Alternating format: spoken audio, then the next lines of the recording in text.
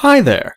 Welcome to Yodot Video Tutorials, and in this video, I'll show you how you can recover deleted photos from your Mac. To recover deleted photos, launch Yodot Mac Photo Recovery and select Deleted Photo Recovery on the main screen. On the next screen, select the volume from which you're looking to recover deleted photos, and then click on Next. Since I'm recovering deleted photos, I'll select Picture and then click on Next.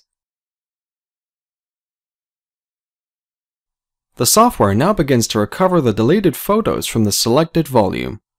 After the recovery is completed, I'll be presented with all the files that were found in the selected volume.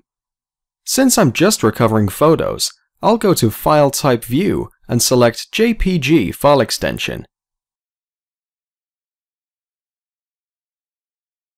I'll click on Save to save the recovered photos from my Mac. I'll now select the folder to which I'd like to have all the recovered photos saved to. The software now begins to save the photos to the selected folder.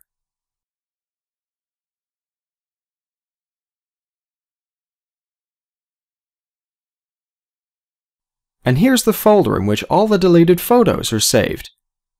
So it's this easy to recover deleted photos on your Mac using Yodot Mac photo recovery software.